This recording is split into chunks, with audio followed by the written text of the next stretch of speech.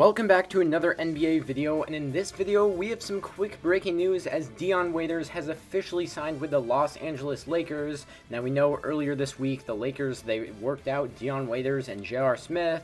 They were weighing the options on signing one of those, and then they were also considering bringing in someone else, but now they did make the decision to sign Dion Waiters. The reports were all very good from his workout at the Lakers facility. They said that he killed it and was very impressive for them. So Dion Waiters He'll be a scorer that can come off the bench that when you put the ball in his hands, he can make some stuff happen. He can get you some clutch buckets, and he has experience in the NBA being a good scorer. He was just coming into the league and looked like a very good player when LeBron rejoined with the Cavs, so he will be with LeBron James, he will be with Anthony Davis, and he'll join a bench unit, a new look bench unit with Markieff Morris, who's also a recently acquired player via the buyout market. So Lakers fans, NBA fans, let me know know what you guys think. The Clippers still look like they have the deeper team.